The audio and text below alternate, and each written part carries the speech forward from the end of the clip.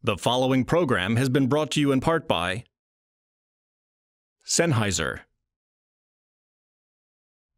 and the Airline Pilots Association.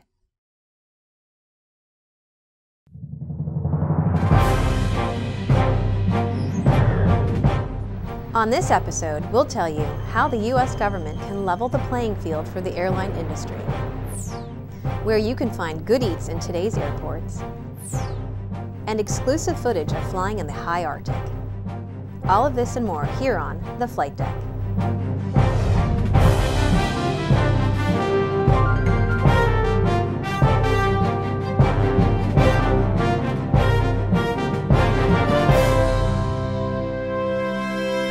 Hello, I'm Sharon Varab. Welcome to the Flight Deck. The Airline Pilots Association recently outlined clear solutions the U.S. government must pursue to level the playing field for the aviation industry.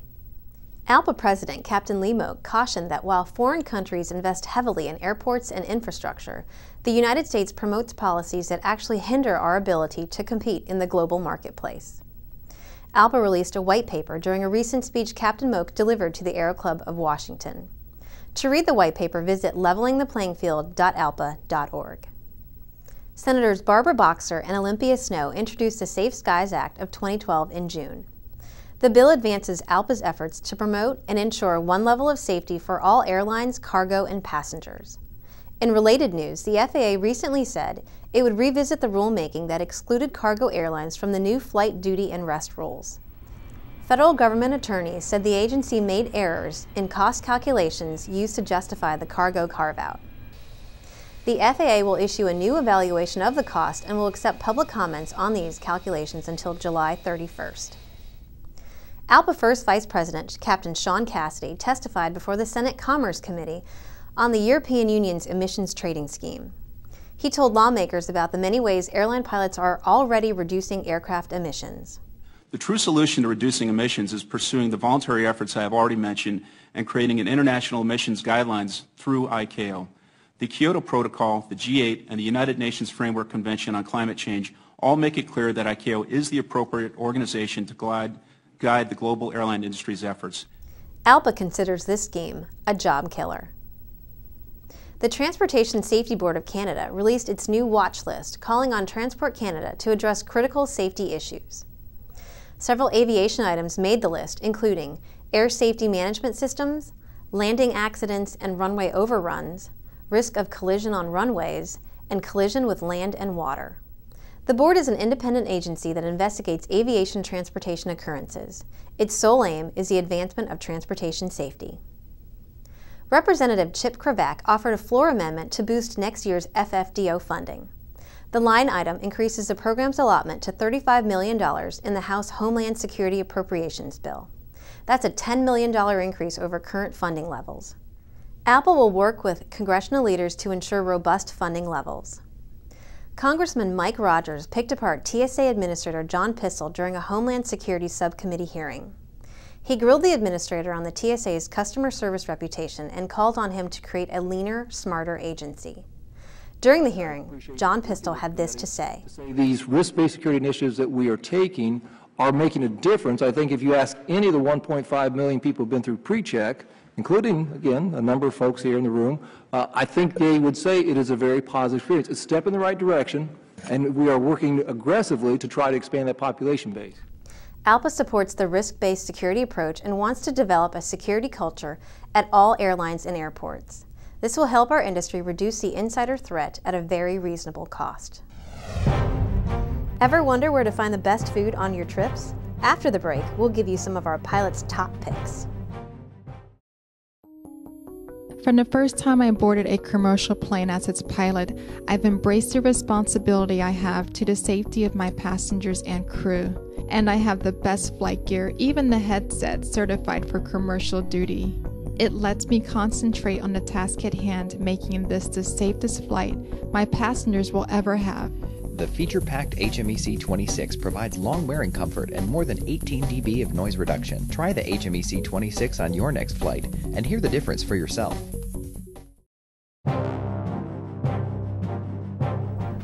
Food at airports has come a long way.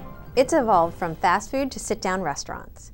Foodies tout personal favorites, and we asked ALPA pilots to give us the lowdown on where to find the best grub. If you're traveling through Atlanta's airport, try out Nature's Table Bistro in the E-Concourse. First Officer Aaron Recchi says it has the healthiest food at the biggest portions for a reasonable price. Headed through Chicago's O'Hare? Don't miss First Officer Jeff Wine's absolute favorite restaurant located in the B Concourse. He recommends the Cubana sandwich for an incredible mix of flavors.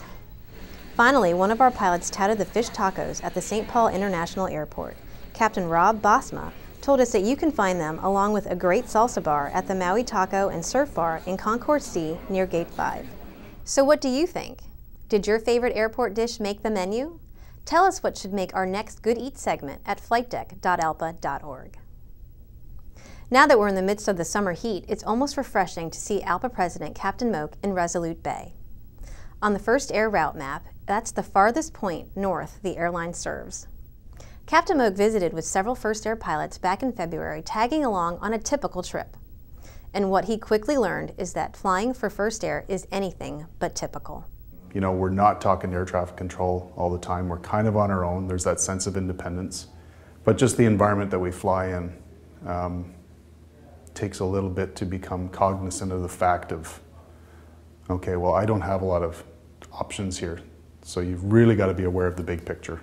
But ask any First Air pilot why they chose to fly for the airline, and you'll get almost the same response every time. We see incredible scenery for one.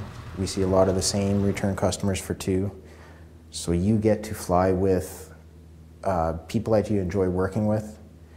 You get to see passengers in the back of the plane that you actually personally know at the same time, the customers that we fly with, a lot of them know us personally, they know our reputation, and they appreciate the fact of what we do for them every day, doing our best to get them in and out of spots that some days is not the prettiest whatsoever. During his trip, Captain Moak witnessed several challenges that his flight crew experienced while operating in the high Arctic. Yesterday, we were out at the airport to uh, fly out, and um, the uh, aircraft from First Air uh, which brought us up and now is picking us up, uh, was en route and the runway shut down here in Resolute because another aircraft, a Dornier aircraft, taxied out onto the runway for takeoff and blew its tires. And it's partly what inspired him to put the resources of the association behind one level of safety and security in the high Arctic. Captain Moak recently announced the creation of a special presidential committee for remote operations. Captain Peter Black, who also flies for First Air, will chair the committee. It will address the challenges that professional ALPA aviators overcome on a daily basis during operations in the far northern areas of Canada and the United States. Learned a lot about uh, cold weather ops, learned a lot about high Arctic operations, and it's amazing that our pilots do this day in and day out in these conditions uh, as safely as they do. Uh, I noticed that the uh, pilot's professionalism was above and beyond, and when they're flying, they were always uh, preparing for the next emergency. And what we saw in a couple of days here is there were several emergencies. In fact, one airplane from um, the carrier was also flying into Pond Inlet, and that was an ATR 72. And as it was approaching the airfield, it had to turn around and divert three hours back because the temperature dropped below minus 35 at the runway and that airplane couldn't land on the runway below minus 35. So that, that goes to show just how extreme the conditions are up here and the uh, extreme professionalism of the crews that fly here. To learn more about First Air's fabulous flying, check out the June-July issue of Airline Pilot. Now it's time to watch and win. First, congratulations, Michael Sperry, for making it to the next round. You were randomly selected from the correct entries from our last episode. Michael will be entered into our grand prize drawing. Now on to today's question. What's the new level of funding for the FFDO program as proposed in the House Appropriations Bill? Visit our website to submit the answer for your chance to win. That's it for this episode of The Flight Deck. Thank you for watching. If you have any feedback, please let us know at flightdeck at alpa.org. Thanks again, and I'll see you next month here on The Flight Deck.